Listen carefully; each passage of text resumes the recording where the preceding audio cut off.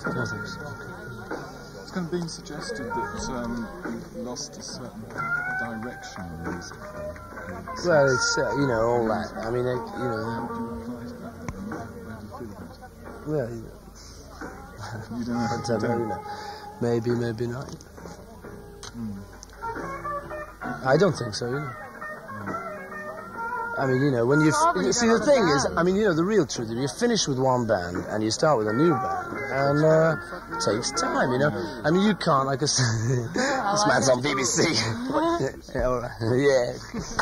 okay, You know, they do a lot of anything anyway, man. You know, and it, it, it ends up Yeah. by, you know. let me out the contract if you want to know the truth. The other three bits, you know, I mean, it's not them. It's actually Allen Klein, you know, who's persuading them not to let me out. It's a it's a weird seeing all He'll that stuff, it. you know. He'll get But it. uh, it'll all He come out right in the end. It'll be okay. He will get his. So you feel vaguely anti them until that's sorted out? Do you think they could sort it out for you or help? I don't know, you know. On a purely personal level, though, would you just like to meet them? particularly. You know, they're okay, they're okay, but I've got a new band now, you know, I'm more interested in that, you know, it's just, uh, it's just the way it is, you know. What about the musical level and what they've all been doing? I mean, do you listen to What do that you a lot? think of Yeah, uh, not a lot, you know. What do you think of John's last album? You, you, It's good, you know, I mean, as long as it's what he wants to do, you know, it's, it's fine, you know. it's, you, you, you don't share his sort of social, political concerns, Actually do, you know. but you do it your own way. Yeah. Right, you feel Haven't everyone begun has to got the say right to... what, Right. what we Yeah. think on terms. Do you think his action is effective? Do you think uh. Yeah, it's not ineffective. It's not think with him ineffective, you know, he's, you know. thing that he's not I mean, I don't, I don't think there's much wrong with what he says, you know. It's not the truth. It's, it's fair enough. I mean, you come to check it out, you know, and a lot of what he says, you know, is pretty right. doing it? Is you that know. sort of spite or? No, because we invited on the Bangladesh yeah, concert but it's like don't bother me. Yes, I was invited on it. Yes, but um, for me, I mean, it's it's a long story all that because uh, you know the thing is, like I say, I mean, for me, the only thing is if I'd gone there, I know for certain. I may be crazy to think it, but I know for certain that uh, it would have been played up as, "Hey, the Beatles are back together again." You know, it may have only been for one night, but you know the whole th- the whole thing would have been perpetuated. You know, when in fact the truth is uh, it's not. It's ended. It is definitely ended. You know, and uh, say, you know, you start sort of going playing together. I mean, we, the man from the record company said, "Will you play just once a year, lads?" Like a sort of memorial tribute. You know. Well, I'm not going to get into that. You know, because I'm not dead yet. You know. You can get into all that when I'm dead. You know, if you want to, but uh, it's no good to me now. Thank you very much, Paul. Well, it's been nice talking to you here live from Chateauvallon and uh, to give all our regards to the listeners. And uh, as far as the listeners are concerned, Love to all the See British people. people. you not go in the common market. oh, wonderful. See you soon.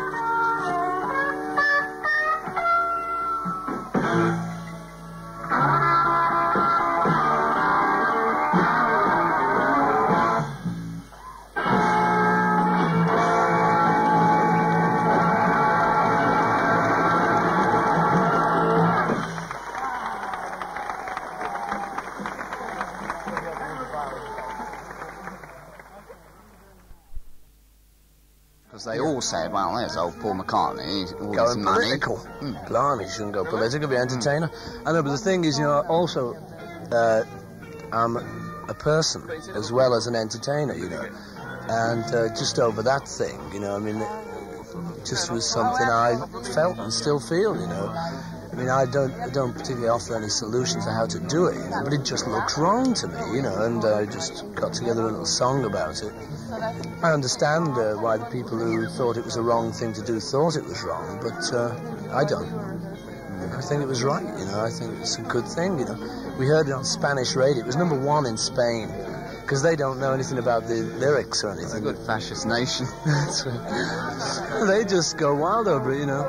Well, you know. On another tack, uh, the other layman thing that people always say is, do you meet the others at all, ever? You know, Uh, I do occasionally and stuff, but uh, I don't. it's always made out to be great enemies. No, we're not great enemies at all. I mean, there's none of that. You know, we sort of meet occasionally from time to time, but uh, we don't uh, work together anymore. You know, so I mean, it, it is. It's it's rather like you know if.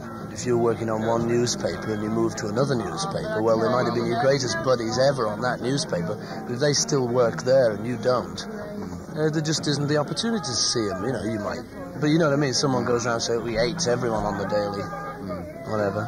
You know. And people, It's like every partnership that breaks up, people always analysing. Lennon wrote that. In fact, I think one paper came out with that list. Yeah. Yeah, well, you know, he did. I mean, it's pretty much true. There was only a couple of ones he didn't. You know, I mean, you can do that with uh, John and my stuff. You know, because it, it does split up like that. There is a lot of it that he wrote. There's a lot of it that just I wrote, and then there's a certain amount that we wrote together. You know. Mm-hmm. Which was the best one you think that you wrote? Yesterday, I think. You know, mm. just because to me it's it's a complete song. Mm. You know, not because it's sort of a big hit or anything. It's just it's one of those I just woke up one morning humming.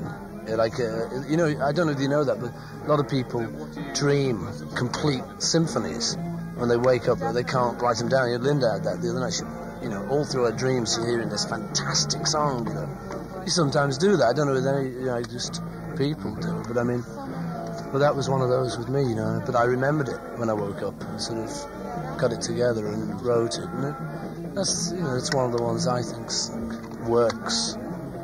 Do you feel pressure on you now at all? But people are saying, ah, when's he going to come up with something? Yeah, you know, but I mean, my only way of dealing with that is just to sort of ignore it. There's no other way. It's no good just sitting around feeling the pressure and just letting it press you down, kind of thing. I mean, there are those kind of pressures. You know, I think those kind of pressures actually sort of affect everyone. You know, but with me, it's just more pinpointed on certain subjects. You know, I mean, you know, everyone gets bags under their eyes eventually. You know, i i- you know what I mean. It gets to everyone eventually, kind of thing. But uh, yes, John. Can you tell me a bit about the bus, actually? Yeah, well, it mainly came about. We were on holiday, you know, we were, and we were trying to sort of get healthy before a tour. You know, like a lot of people do, because you think, oh God, it's really going to take it out of you, you know, slog, slog. But we suddenly thought, well, wait a minute, you know, if we're going to be in Europe in the summer, you know, going to places like, you know, you know, south of France, you know, it's just silly to just be in some little box all day gasping for air and stuff. So we came up with this idea to have a, uh, upper deck, uh, what's it called, open, what are they called? Open deck, like they have in Brighton. Yeah, open deck, you know, upper deck kind of thing. Um, we've got some mattresses up there, you know, so we can just cruise along. Fantastic. It's just great, just lie around, you know, just get the sun, is it? Keep healthy, man, on tour. Can't be bad. Yeah, you did universities, but you didn't actually come in where people could. Uh, Oh, we're really looking forward to that one. when, when will you do that? do you? Well, you know, as soon as it turns up, I don't know really. Next year, hopefully. And Hamburg was like sort of a, a way to play it all in, you know, and working like eight hours a day there, you know, was it's great for a band. You know, it really works you and You get to know each other, and it, it's really great. You know, you can if something goes wrong on a show, kind of thing, you can just no tap. No, no, no. Yeah. I do them either on my own or with Linda, or she's actually written the one we did tonight on our own. That was actually to prove a point to uh, Lew Grade when we were having frictious times with him. Because he was saying she, she, she couldn't write. Anyway, that's all over with the Seaside Woman. Yeah, I sat her down and said, okay, look, you know, they don't believe you can write, you better write a song. You know, because they were saying, you know, they, I mean, did, I don't know, they were suing us for a million dollars in New York and a million pounds, actually a million pounds in New York and in Britain simultaneously because they thought I was cheating. Because of the joint ones. Yeah, I was saying, I was saying, well, uh, finished with the Beatles, I finished with John as a collaborator, and I'd like to have Linda now, if you don't mind. And they said, I'm afraid we do, bang bang, and a couple of lawsuits came out. You played several tunes tonight from your next album. Yeah. When will that be out? Uh, don't know really. We've we've recorded about half of it now, and we'll finish it off uh, uh, winter sometime. So hopefully at the end of the year, Michael. Ho, ho, ho, he says. Yeah. That's Here we are, right. folks. Here we are, folks. Yes, indeed. Right. We keep being blinded by flashes. You're not the only one. Yeah. Um, do you th- do you have feelings now that it's ten years since the great event? If I can ask the sixty-four thousand dollar question Which great event? of well, the Beatles in the charts. Does that It's mean anything years. anymore? The Beatles were in the charts less than 10 years ago, were they? No, it was ten years. The, the Beatles, oh, first were in the charts. Well, that's wonderful. You know, that's good. I mean, you know. What do you mean? Well, I'm wondering that. Do you still have any feelings for those days or not? No. Of course, yes. I mean, I have feelings for my school days. You know, I, I like uh, many things. You know, school days, the Beatles days. It's great. You know, I dug it. I loved it. You know, but uh, it doesn't bother me. It's over. You have got to move on in life, Michael. You know, we've got to keep rolling on. You know, you can't just stop. Will you take this band to America? Yes, hopefully, yeah. They might take me, actually. Because I was in America recently. Everybody asked about Paul McCartney. Oh, wonderful. What did they ask? Well, uh, are you dead? yes, well, I can definitely deny that rumour. Here and now. Are you? Uh, do you write a lot together now, Linda? Yeah. Yeah. The uh, Seaside Woman, I think, recalling that. Yes, no, Linda wrote that on her own. That's uh, she's written that one completely. on Which her was a which was a reggae number. Yeah, I love reggae. My favorite. Where did you first hear reggae? Um, I just got, we just got some um, reggae albums. and then we went to Jamaica and fantastic. Because they've just got singles down there. It's like the 50s, you know, it's just fantastic music. And all the kids, you know, it's so loose down there. And all the kids, they blast it like in Montego Bay. Every corner they're playing reggae. Great. I love it. Do you write together much? Yes, a bit, you know, on our own or together or whatever. Yeah. Michael. Have you finished this next album then? You kept mentioning it on Broken Friends. No, because I mean, you may not believe it, but I mean, we're really getting off on kind of things, daft things like Carolina Moon, the kind of thing that you only sing when you're really drunk in a back. Ah, Carolina Moon. But I mean, you know, if you sort of mean those ones, they can really be like heart rending, you know. Just, I mean, you can really. It's amazing. I mean, I'm not saying we're going So to. Ray Davies does this with uh, Mr. Wonderful. He sings and all these sort of. Things. Does he? That's what I mean. I love all that stuff. I mean, you know, I don't, I don't, you know, I don't hate anything that's gone just because it's gone. In fact, it tends to be the opposite with me. You know, I get, you know, I, I dig it. You know, I Beginning love to be an old nostalgic.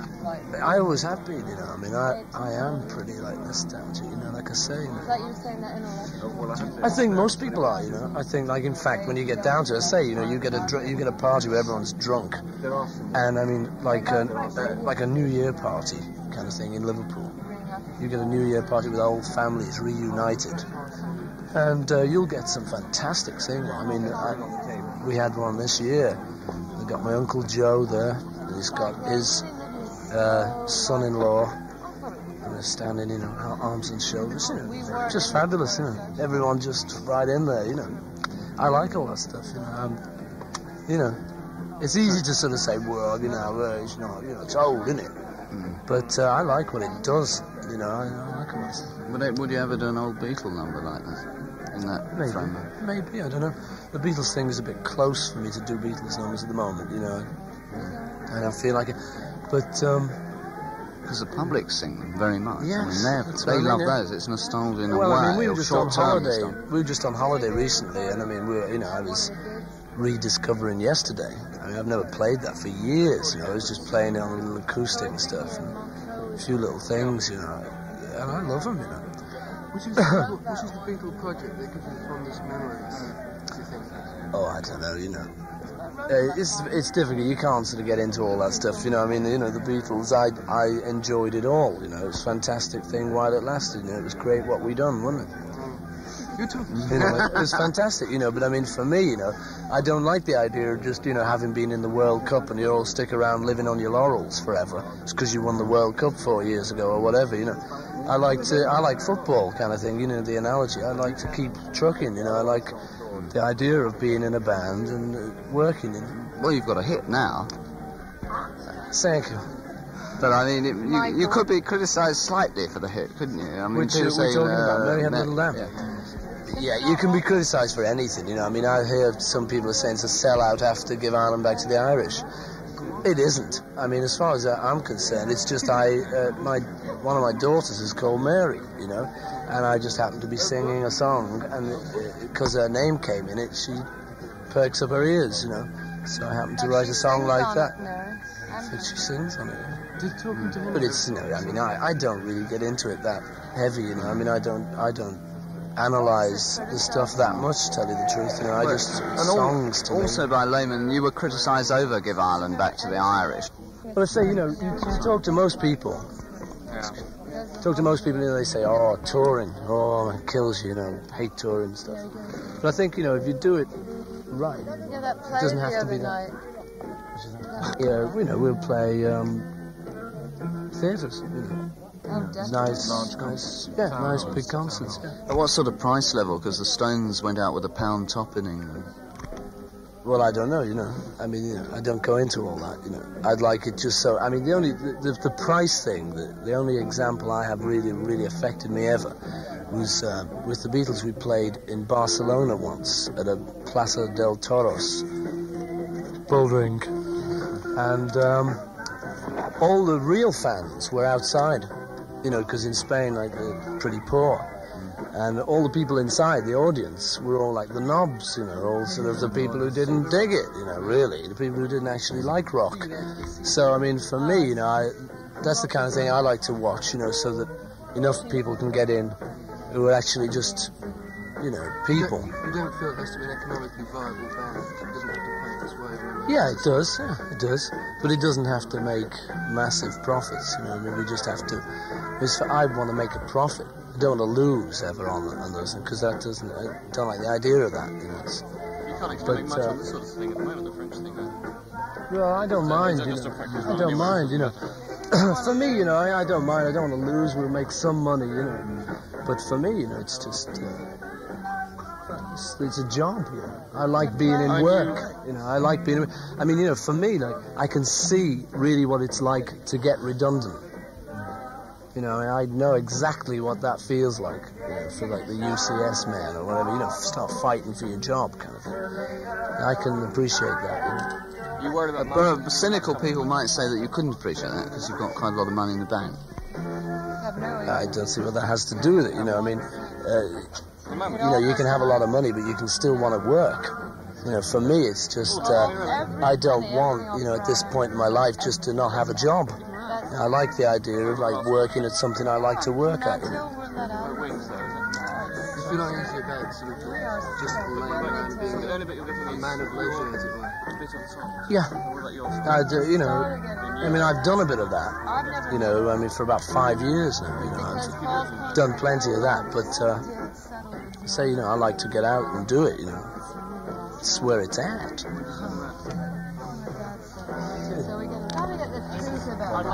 Some stage, I like very, very much. I really, really Member of the it. songwriting department. When the moguls can't get to it to do one thing, Yes. People expect, expect to be probably too much of it when you go on a stage. Well, maybe, you know, I don't mind. No, No. uh, I don't mind. It doesn't bother me that, you know. Um, You'd probably You know. right. We've never. No, that's the thing we think of. I mean, I can see how that can get to you, you know, where you sort of think, you know, I think, yeah, It's got to be. yeah, well, that's that's true, you know. The, it ha- is. the handout tonight said, you know, this is the first Beatle appearance in Europe since 1966. Yeah. Oh, you know, yeah. It's fair enough, all that stuff. You know. I mean, you know, I don't think of it like that. You know, for me, I'm just uh, some fellow who wants to work. You know, I like playing. You don't find that gets in the way, that sort of, you know, if that's a crisis. Yeah, it does a bit. It does a bit. I mean, especially like you know, when people have got microphones all Yeah. pointing at you and say, you know, I mean, yeah, they're a great songwriter. What about it? You know. But I Well, think this may happen. Yeah, but I think now you work, that may It quieten will. down. It will. You know, that's the, that's the idea. You know, that's the idea. I mean, yeah, I'm sure in time, you know, people will just appreciate that it's just a new band. You know, it's just a band. You either like it or you don't. You know. And we're working so that people will like it. I mean, you know, all the other members of the band, you know, have done similar things. You know, Denny was in the Moodies, and did a lot of that, and uh, Henry was in the Grease band, and so we've, we've all done it, you know. But we all like the idea now of just getting together a whole new thing, you know. No reason why we shouldn't. Right, Giorgio? It's no use doing what people tell you to do or what people think you ought to do. You just got to do what you feel like at the time, you know. So anything could happen, you know. What besides Wings would you do? The Rupert's, uh, the Rupert's Yeah, I don't know, you know. I Don't know yet. You know. Rupert is a thing I'd like to do, you know. I'd like to. It always seems, uh, I I'd like to make a film with, with uh, you know, an animated film. You know, like Disney. Because I like all those, you know, the old Disney stuff. It's just class, you know. Good, good films. And I'd like to do a similar kind of thing with Rupert. Now it comes from my involvement with uh, having kids. And you read Rupert to them and you start to think, oh, it's good, this. And I just, you know, that's, that's what happened with me, you know. I was just happened to be reading it one night to Heather. And uh, I started to dig it. Do you ever feel you've been made because you were the almost the spokesman of the Beatles? You were the scapegoat in the end, really. Yeah, you know, I don't sort of, you know, I mean, whatever went down, you know, went down and stuff, and it wasn't sort of a pleasant end or anything, but maybe it couldn't have been a pleasant end, you know. But uh, it doesn't bother me now, you know, I mean, it's just, I say, you know, it's just whatever went down, you know. Uh, like for me, you know, there's no point in just uh, sitting around, well, that went down and that's the end, chaps, well, see you, you know. You know, I don't like that, you know, I just like to sort of But you were the, the spokesman and very pleasant to everybody always. And uh, and suddenly, like everything in the media, it turned against you because you'd been pleasant to them. Yeah. Well, Did you feel know, that? Yeah. Yes, Michael. Yes, I did. This is a long wait trying to pull you out, you see. and- Well, go on, But you it's true though. But you always you you you were always the spokesman, unofficially, and probably because other people pushed you up as a spokesman. But you didn't seize upon it, and therefore it turned on you in the end. Well, you know, I mean, you know, I say, you know, it didn't turn that much, you know. I mean, I'm still alive and kicking, you know, and still doing stuff, you know. I mean, say, you know, I mean, you can't go through your life and everything be rosy all the time. You know, you got to have your ups and downs, and that was one of the downs, you know. But I don't intend to stay down, baby. No, you were aware that that happened, were you? yeah. yeah it would been, I would have been sick if I wasn't.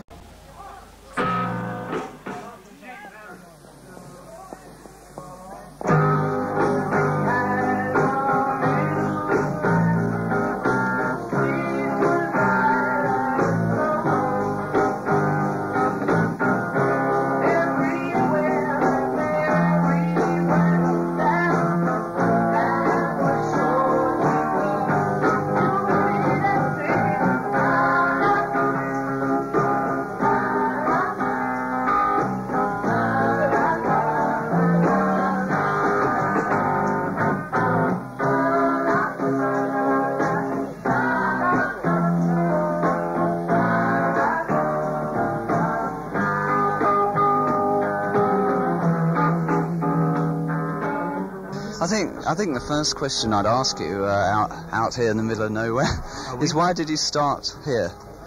Uh, well, qu'est-ce que c'est? Château Well, actually, we wanted to start a sort of quite a smallish place to play in, you see. So this is quite a small, out-of-the-way place, but still get a, quite a reasonable audience. That's the truth, Michael. You sound a bit hoarse after your performance tonight, I am just a touch. On peut pas avoir un autographe Uh, which, un, un moment. Come on. Autograph, yes. stuff. Yes, he is wants an autograph, I think. Ah, oui. there. Oui. Two Un please. papier Non, mm, pas de papier. Is it, uh, Vous faites papier. Comment Pour moi. Here, Eh darling. bien. Ah, ici, papier. You see that? Command of the language. Yes, I thought prochaine chanson meant Prussian song, actually, from at the back. Someone told me uh, it meant the next one. I never took French, you see. Linda, did you feel very nervous before tonight? First half, second half, had a great time. I was nervous first half, definitely. But uh, definitely, we had no sound check, no rehearsal, no nothing. We had to go on cold, you know. So I had to warm up a bit. we were very hot second half. Do you find it a great strain working, you know, with someone like Paul? I know it's your husband, but... Easy. Really, I find it very easy. Totally, you know, I'm just still learning. But um, it's, it's fun. It's like life, you know, it's just another thing in life. Yeah, she does get very nervous, of course, you know, but she's getting better all the time, as they say in the song. Uh, Melody Maker this week had a very hard headline saying that uh, Wings snub England. Oh, it's crazy. That's crazy. Mr. Charlesworth, who wrote it, who's a nice chap sometimes, but is a little bit crazy. Someone, you know, you know how they are at the papers, don't you, Michael? Now, what about will you will you be touring in England? Yes. uh, open I mean, the reason we didn't do, we're not playing in Britain, is because we're playing in France. That's the only reason. We happen to be doing a tour of uh, Europe. All right, we did Giorgio. One, one, For Army, okay. One English. Um, yeah, we've done a little thing around the universities in England, and we're going to play in England. But uh, at the moment, we're doing a European thing to sort of play the band in. It's a very new band, you know.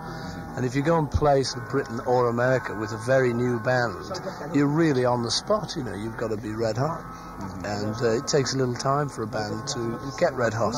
You know, it's a question of so it's almost like living together for a little while, bouncing off each other and stuff. You know, this is what we're learning to do on this tour, at the expense, I suppose, of the Europeans. But we did Britain once.